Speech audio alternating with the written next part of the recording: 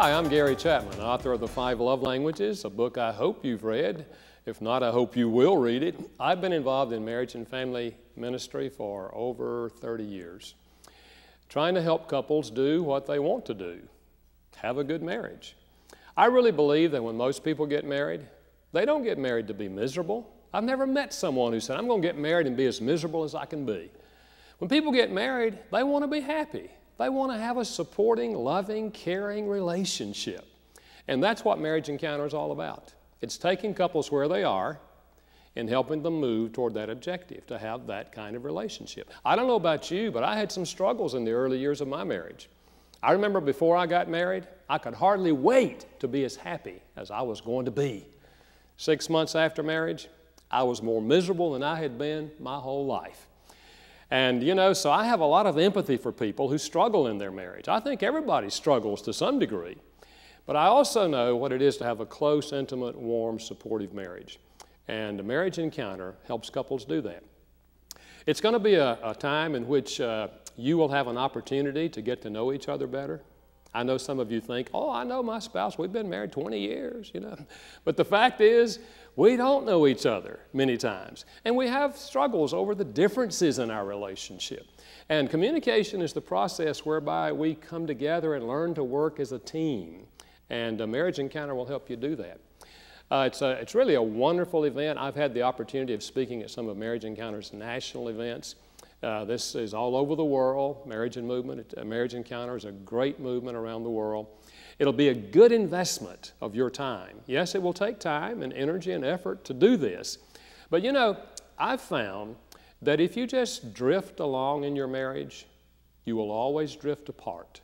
Couples never drift together. We have to work at having a good marriage. I remember once I was in an airport met a young lady, started talking with her, found out she was engaged. In fact, she was going to visit her fiance that weekend. She asked me what I did. I said, Well, I do marriage enrichment events. She said, What do you do at those things? I said, Well, we help people work on their marriage. And this strange look came on her face. And she said, Why do you have to work on a marriage? I knew she had never been married because those of us who are married know that marriage has to be worked at. The in love experience, which brings us to marriage, was not work, that was fun. But once you come down off the in love high, you have to work on the relationship. And Marriage Encounter is designed to provide a place for you, a safe place where you can work on your marriage together. It's not a place where you're going to share all your things and your ideas with, with a small group. You'll be listening to some presentations in a group but the two of you will be spending time communicating with each other.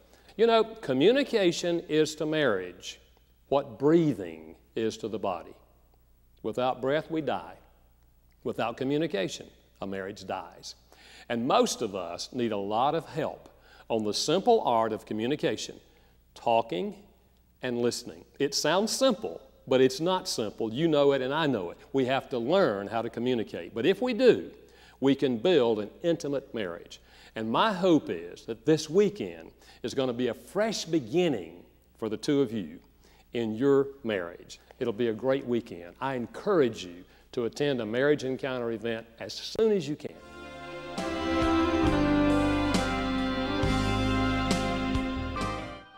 Marriage Encounter in Singapore is part of the worldwide Marriage Encounter movement. It is a Catholic program that has spread to several Christian denominations all over the world. Marriage Encounter is a non-profit organization run completely by volunteers. It is a highly effective couple weekend experience that takes place every first Friday of the month. Mandarin weekends are conducted three times in a year. After registration, you will receive a mail from Marriage Encounter confirming the weekend and providing all necessary information about the weekend, like where to go, what to pack. As you arrive for the weekend at ME House in Punggol, you will be shown to your private room where you will be accommodated. All presentations take place in a conference room. The presentations are conducted by three couples and a priest. The presentations are in the form of personal sharings by the presenters following a worldwide marriage encounter outline. All the presenters are not professionals, but are just couples who are willing to share their life stories with others. Following each presentation, There is time for personal reflection, then couple discussion in the privacy of your room. After that, you return to the conference room to repeat the process for different topics. There is no group sharing or discussions as such. And that's all there is to a marriage encounter weekend.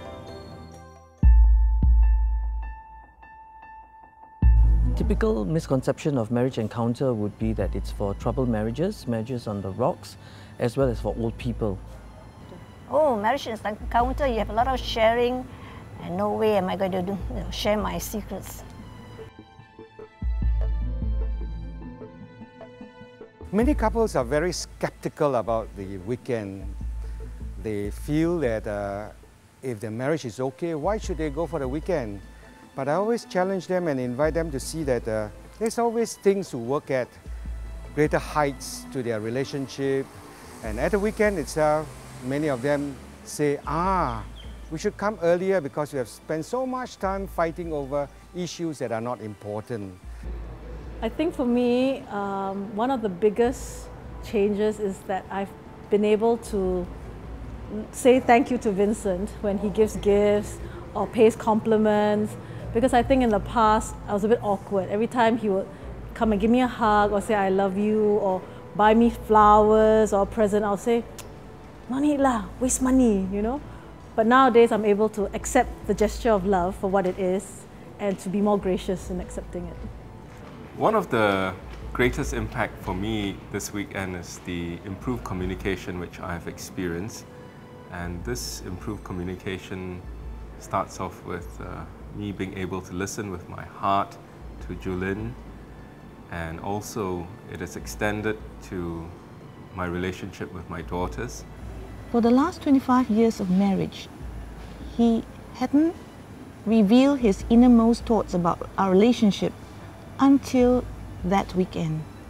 And that weekend actually uh, helped me to rekindle our emotions and the environment is very non-threatening, so it's very conducive for you to express your inner feeling.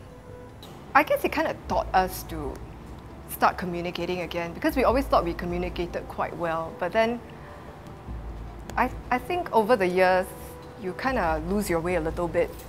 Um, so what, what really uh, allowed me to take away from the weekend uh, was, was really being able to share our feelings and uh, to focus on understanding uh, what the other person, what our partner is saying uh, and feeling mm. um, without uh, the need to, to make any judgment.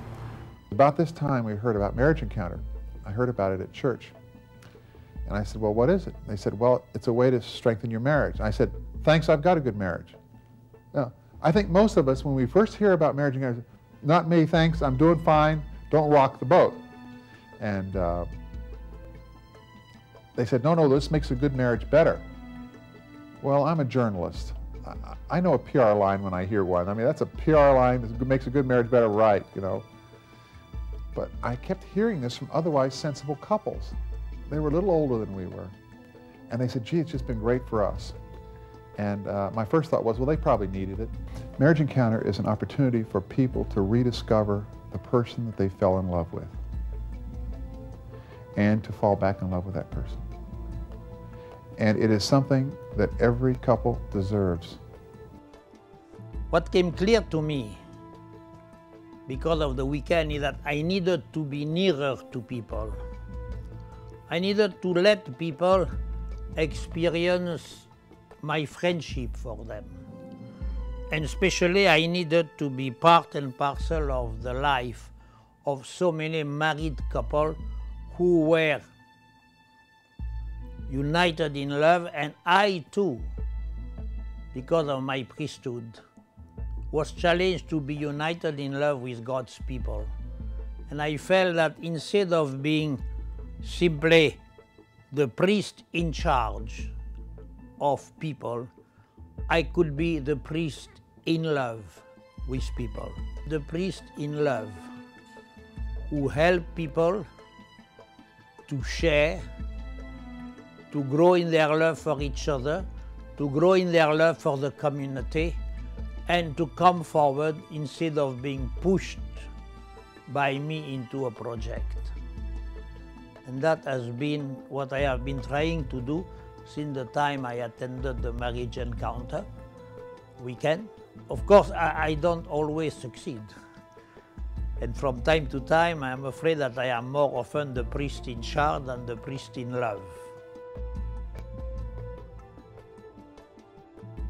Your marriage is the cornerstone of your family unit, which in turn is the cornerstone of the church and of society.